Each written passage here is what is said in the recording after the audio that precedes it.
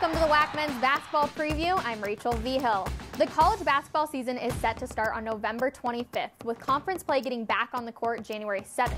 When we do have hoops back in season, it'll be New Mexico State once again picked to win the regular season championship. The Aggies received all eight possible first place votes in the coaches poll. NM State has won three straight WAC regular season titles in the last two tournaments. They also have a 31 game conference win streak.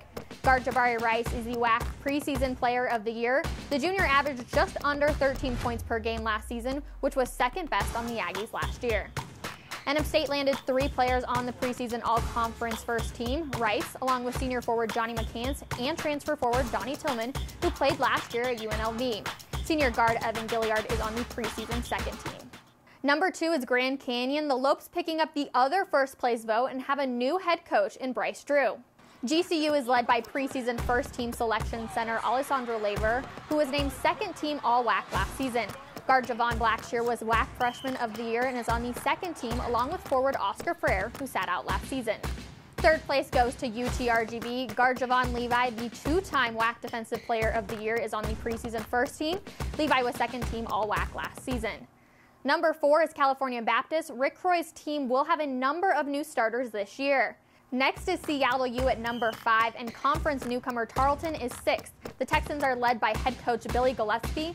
Utah Valley and their 18 new players are number seven. They are followed by in-state rival and conference newcomer Dixie State.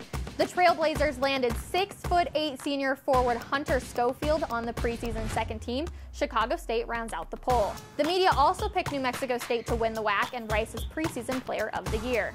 Grand Canyon is number two, UTRGV three, California Baptist four with Seattle U five. Then the media poll changes from the coaches poll a bit as Utah Valley is sixth with Dixie State seven, Tarleton is eighth, followed by Chicago State.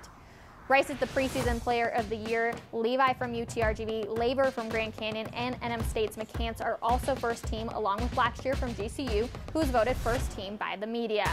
For a complete list of the preseason all-conference team and awards, check out our website at wacsports.com. For the WAC Digital Network, I'm Rachel Vigil.